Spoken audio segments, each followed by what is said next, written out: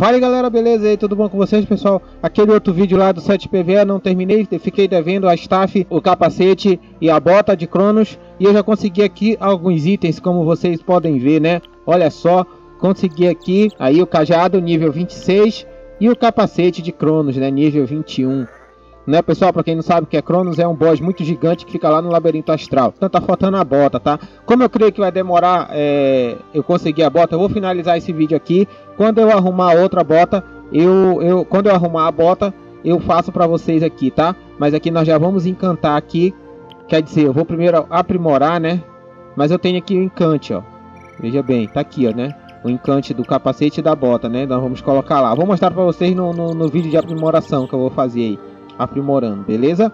Então é isso, quero atualizar também para vocês aqui os skills. Eu mudei, agora eu tenho aqui esse aqui, ó, purificação, né? Como é o nome desse aqui? Torrente vigorosa, né? Então tá aí a nova build aí que eu fiz pra vocês, né? Eu fiz totalmente de PVE, pessoal. Eu tirei aqui do, do, da grama, tá? Coloquei aqui no raio pra dar um pouco mais de dano na torre, né? Cura 5 e, e aqui é a pele, né?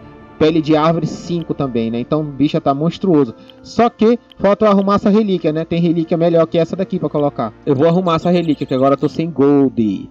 E aqui, pessoal, olha só, coloquei torrente vigorante, né? 4 barra 4, né? Então ficou fum ela, mano. Ela tá curando muito, ela tá curando 680 com esse meu set aqui, né? Com, com 479 de dano tá? Ela tá curando tudo isso. E o escudo eu permaneci aqui nesse também, porque o escudo é aquela coisa, né? Ele só vai curar quando o cara recebe dano, então é meio complicado. Às vezes tu quer curar alguém que, que, que não tá recebendo dano, mas aí não vai curar, só vai curar o que tá recebendo dano, enfim.